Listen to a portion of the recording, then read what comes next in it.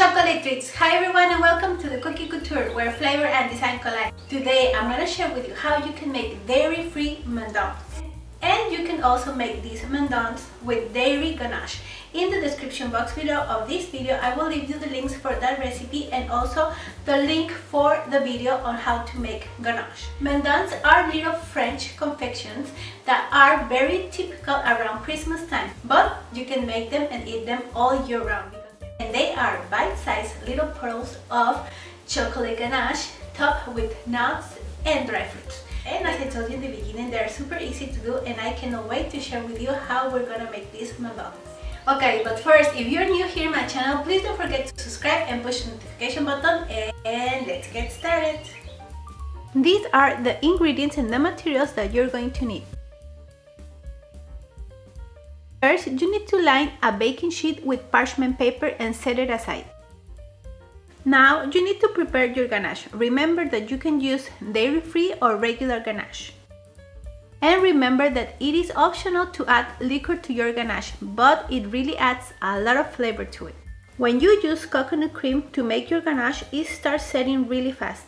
You need to work very fast and try to keep your ganache around 160 to 130 Fahrenheit degrees. And if it starts to cool down, you can put them in the microwave for intervals of 15 seconds. Now that you have your ganache at the right temperature, let's start to make this mendiant. Using a small spoon, dollop some of your ganache into 2.5 inches circles in diameter into your parchment lined baking sheet.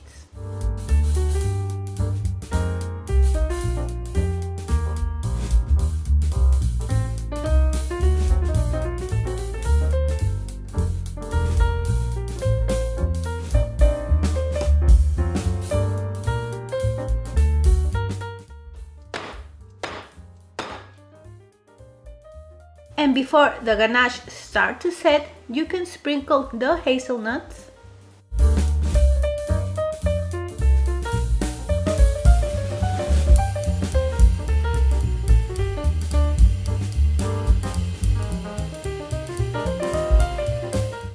The cranberries.